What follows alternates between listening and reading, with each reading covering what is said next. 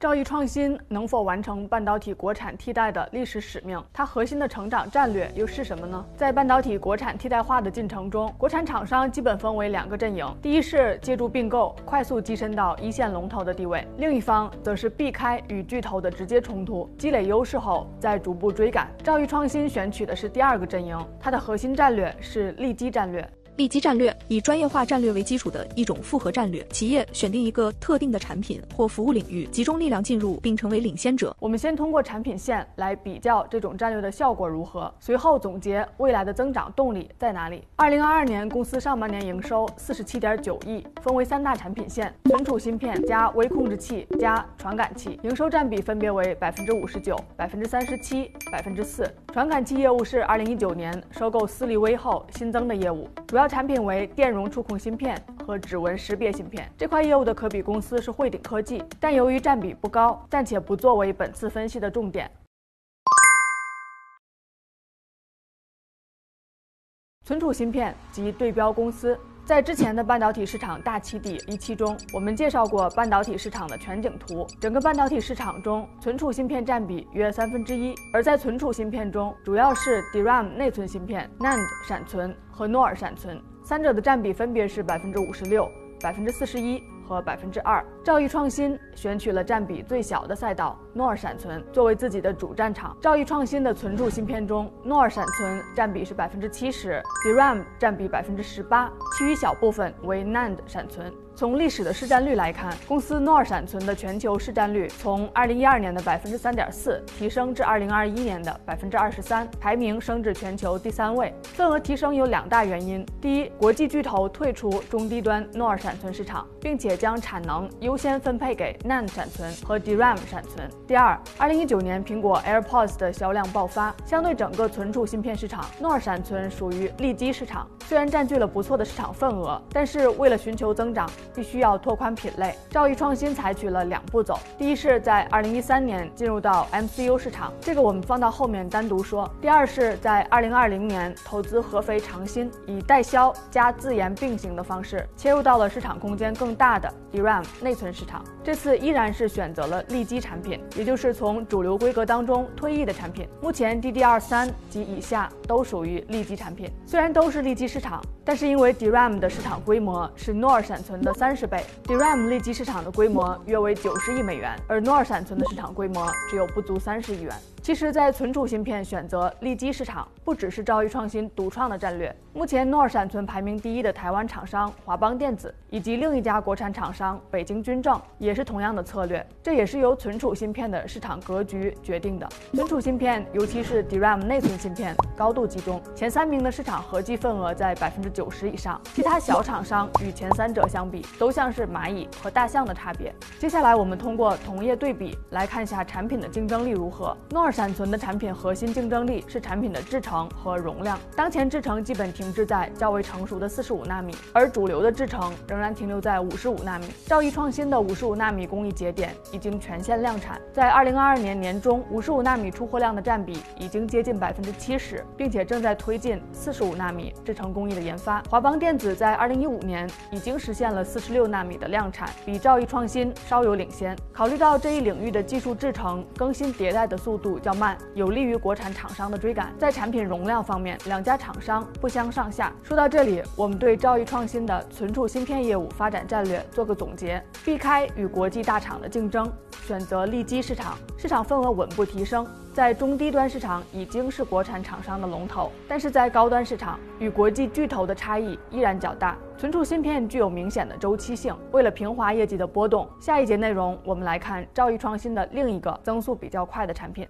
为了平滑存储芯片业务的周期性，兆易创新选择了哪一个产品线呢？？MCU 又称单片机，是将 CPU 的频率和规格做适当缩减，并且将存储器、定时器、计算器、驱动以及各种输入输出接口集成在单一芯片上形成的芯片级计算机。自二零一三年产品推出到二零二二年上半年，MCU 是兆易创新内部业绩增长最快的产品线，营收占比也从二零二零年的百分之十七提升至百分之三十七。高速增长背后的原因有两个：第一，缺芯潮。由于供应紧张，全球 MCU 市场在2021年量价齐升。兆易创新的 MCU 制作工序有两种，一种是主流的嵌入式内存，需要借助台积电代工；另一种是系统级封装模块的方式，不需要代工厂就可以快速生产。借助后一种制作工艺，公司的 MCU 板块在缺芯潮背景下实现了快速放量，但这样的快速增长是不可持续的。再加上封装形式的制作工艺性能相对较低，产品也只能用于可穿戴设备、家庭安防等。消费领域，后续公司 MCU 的出货量将回到比较正常的水平。第二，新产品问世。二零二一年，公司推出了电机驱动芯片和电源管理芯片。二零二二年，WiFi MCU 也开始批量出货，扩充品类，对于 MCU 的业绩增长是可持续的。MCU 的下游应用以汽车、工控和消费电子为主，但是全球市场和中国市场稍有不同。全球市场的下游应用中，汽车、工控和消费电子占比。分别是百分之三十六、百分之三十四和百分之十九，而在中国市场，对应的占比则分别是百分之二十七、百分之三十四和百分之二十五。国内消费电子 MCU 的占比比较高，中高端的工业领域需求结构与全球类似，但汽车 MCU 与海外市场的需求仍存在一定的差距。在市场格局方面，MCU 全球市场也是高度集中的，前五名的合计市占率是百分之七十六。在更高端的车用 MCU，前三名合计市场份额高达百分之七十，其中瑞萨电子百分之三十，恩智浦百分之二十六，英飞凌百分之十四。兆易创新的全球市场份额只有百分之一点三，并且以工业领域为主，车用尚未大规模量产。根据公司最新的公告，四十纳米车规级的产品已经面向多个。一级供应商和 ODM 客户进行推广。对于兆易创新在 MCU 产品方面的竞争力，我们可以从产品性能和产品品类两方面入手。在主要的产品性能上，比如频率、内核和位数等，兆易创新与国产厂商相比优势明显。与国际巨头相比，在工业类的 MCU 性能接近主流水平，但是高端产品还存在明显的差距。从产品的品类来看，兆易创新的产品型号目前有四百多种，基本实现了对主流应用市场的覆盖，但是与国际厂商千种以上的产品。型号相比还是偏少，两大产品线我们都了解清楚了。接下来我们看公司未来的增长动力在哪里。在了解了兆易创新的产品竞争力之后，我们再来看未来的增长动力。先来看存储芯片，诺尔闪存的市场分为存量和增量。前面提到的，当前诺尔闪存的市场规模只有不到三十亿美元，但二零零六年是一百一十亿美元，在存储芯片的占比也有百分之十九。是什么原因使得这一市场规模不断缩水呢？主要是智能手机的兴起。都是闪存芯片。在二零零七年智能手机兴起之后，诺尔闪存的份额逐渐被 NAND 闪存所抢占。两类产品在技术上是有显著差别的，具体差别体现在容量和单位成本。从容量来看，诺尔闪存属于代码型闪存芯片，它主要的特点是应用程序不必再把代码读到系统中，而是可以直接在闪存内运行。所以诺尔闪存适合用来存储代码以及部分数据，可靠性高，读取速度快，在中低容量应用时。具具备性能和成本上的优势，而 NAND 闪存主要功能是存储数据，通常用于五百一十二兆到十六 G 甚至更高的容量市场。随着智能手机的功能增多，对数据存储的容量相应提高，智能手机厂商如三星逐渐使用 NAND 闪存来替代 NOR 闪存。从成本来看，NAND 闪存体积只有诺尔闪存的一半，可以在给定的尺寸内提供更高的容量，单位成本也更低。基于上述原因，，NOR 闪存的存量市场主要停留在功能手机，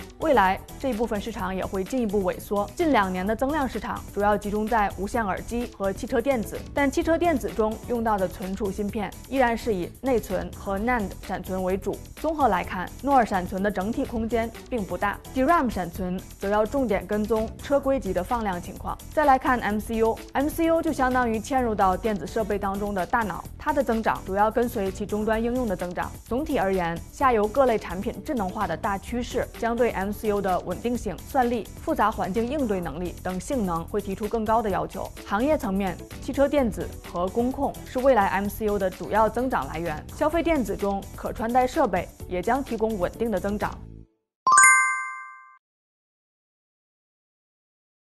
之后，我们再来回顾公司整体的业务布局。从布局来看，兆易创新和台湾的厂商华邦电子是最相似的。兆易创新的业务布局是基于诺尔闪存，布局 MCU 加传感器加 DRAM 三大业务，构建 MCU 商店。华邦电子的布局基于诺尔闪存，布局立基 MCU 加立基 DRAM，开发 MCU 平台产品。两家公司的业务方向都强调了平台，瞄准的是同一个方向——物联网芯片模组。这其实也是物联网产业的核心环节。一个典型的物联网终端核心的芯片主要是传感器加 MCU 加信号芯片，此外还包括有存储器、射频、电源、电池管理等功能芯片。物联网终端设备具有多样性，单一产品无法满足需求，所以 MCU 也需要多品类。这也是两家公司都强调平台的原因。从更长远看，两家公司未来的核心驱动力和重点的布局都在物联网市场。启底教育创新，我们可以得到三点启示：第一，在存储芯片领域，公司遵循利基战略，避开激烈竞争的高端市场，在诺尔闪存站稳后，切入到 DRAM 内存，相对国产厂商有优势，但高端产品与国际龙头差距明显。未来增长的重点可以关注车用 DRAM。第二。在 MCU 市场构建 MCU 商店，主流 MCU 的产品性能基本达到国际水平，但是高端车规级差距较大，品类多样性方面也有待提升。第三，存储芯片和 MCU 并不是完全割裂的，两者都是物联网芯片的核心组成部分。公司更长远的业务布局是在物联网领域。